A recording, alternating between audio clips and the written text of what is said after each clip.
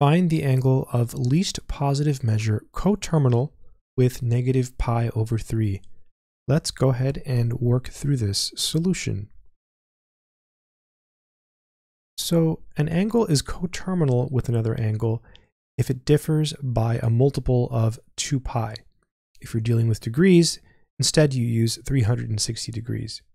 In this problem we have radians, so we have to find the angle of least positive measure, so the smallest angle that's coterminal with this one.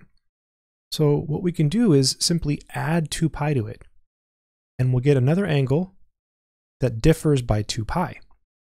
So negative pi over 3 plus 2 pi. Now we should simplify this. So in order to add negative pi over 3 to 2 pi, remember that 2 pi can be written as a number over 1. And then what you can do is multiply this by 3 over 3.